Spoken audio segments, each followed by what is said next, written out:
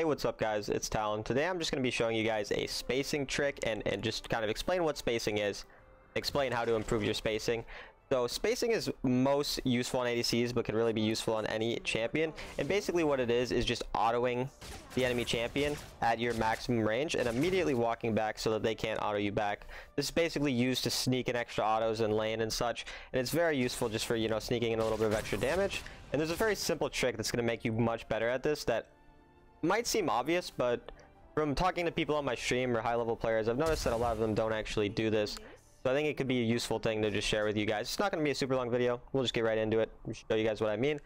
So the trick in question is basically just holding down your auto attack button and essentially getting as close to your max range as possible. And as soon as you actually get in range, it will auto attack for you since you're holding down the basic attack button rather than tapping it. Where if you're tapping it, you have to guess what range you're actually getting at.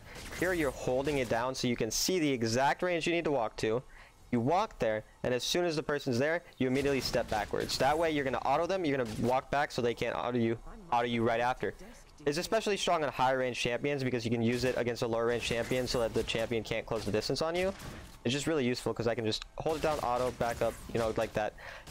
Very simple trick, very useful. And now I'm going to go into some live uh, footage of this to kind of show you guys better how to utilize it. So let's get into that. Alright guys, so I'm going to just show you some examples now of me using this trick. So it's really just going to be the first clip, just me utilizing the range advantage that I do have in the Caitlyn versus Lucian matchup to get as much poke off as possible.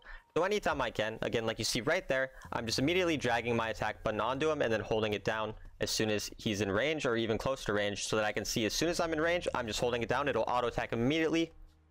A very important thing when it does auto attack him is to immediately, as your character stops to auto attack, walk backwards so that they can't auto attack again on you. As you saw there i did not walk backwards. I get auto attacked he, he trades evenly with me. However a lot of times with this range advantage all i really have to do is walk back as soon as i auto attack so you see every time auto attack walk back auto attack walk back auto attack walk back every time. Very simple. That's mostly how this trick is really. It's not a complicated thing. It's a simple thing but it's very effective very underutilized by a lot of players where they'll be tapping it. And while it may not seem like a big thing obviously if you you know, tap your attack button a lot, you still can space people like I'm doing. The major difference is one, that you see the actual line that you need them to cross because you're holding it, so you see the circle to see where they need to go. And then two, it'll immediately do it automatically, so you don't have to focus on, oh, I think I'm going to auto attack them now, so I'll start walking back. Instead, you can focus on your character, and as soon as you see your character stop the auto attack, you can immediately walk backwards. You just see me poking them down in lane consistently, doing this simple trick. I'm holding it down so I know when they're in my range. And as soon as I get in their range, I just, it'll auto attack them and then I'll just walk backwards. That way they can't trade back on me. This strategy is most effective when you have a range advantage, such as a Caitlyn versus a Lucian matchup or an Ashe versus a Kai'Sa, stuff like that. So that's really when you're going to utilize this the most. However, this is not the only situation you're going to utilize it in. And so as you see, and again, you know, I just keep anytime they're in range, poking them down by simply holding down the auto attack button and either portrait locking them or dragging my attack button onto them. And, from that alone, Lucian's like 1 HP while I'm still full HP. If my Nami had played better, I mean, we would be both full HP pretty much. But anyways, that's about it for here. We'll get into some examples with more close range matchups where it's like a Vayne versus Jhin, Kai'Sa versus Jhin, and then also a melee versus melee matchup.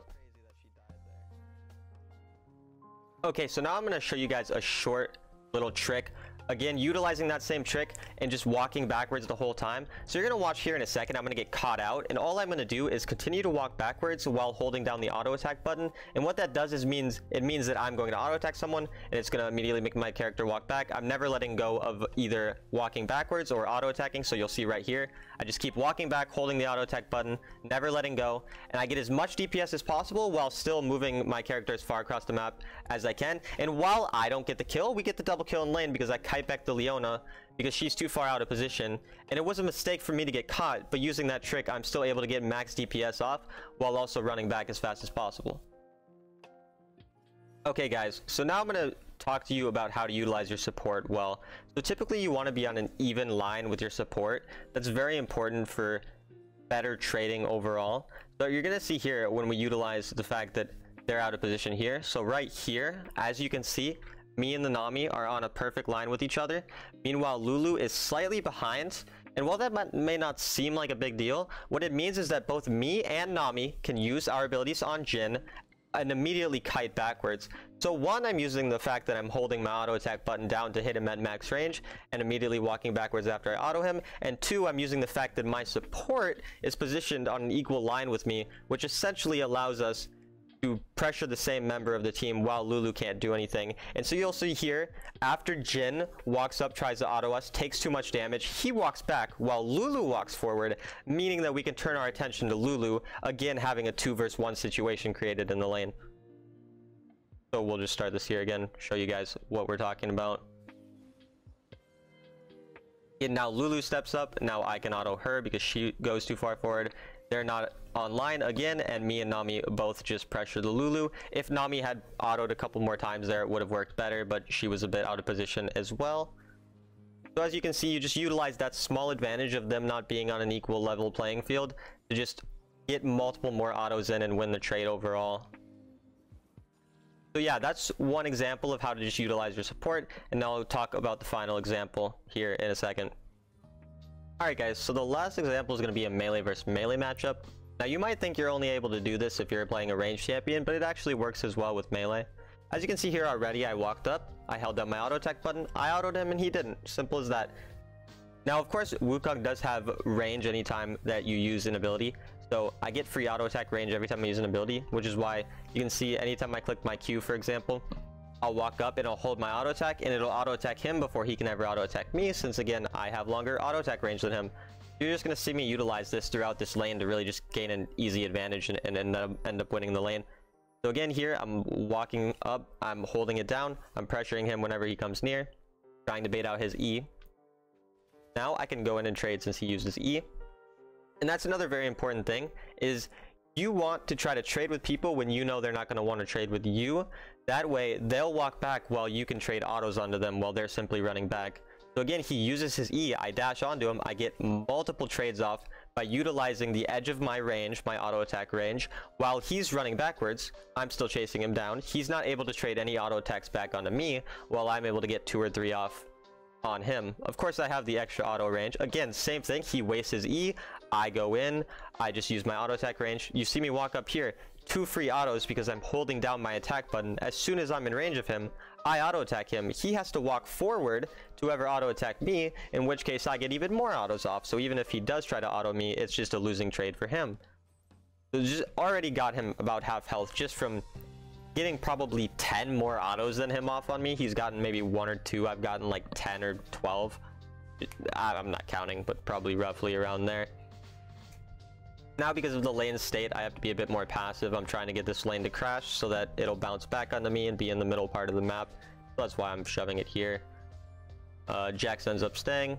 So we get that. Probably going to just look for a back here and we'll see what ends up going on.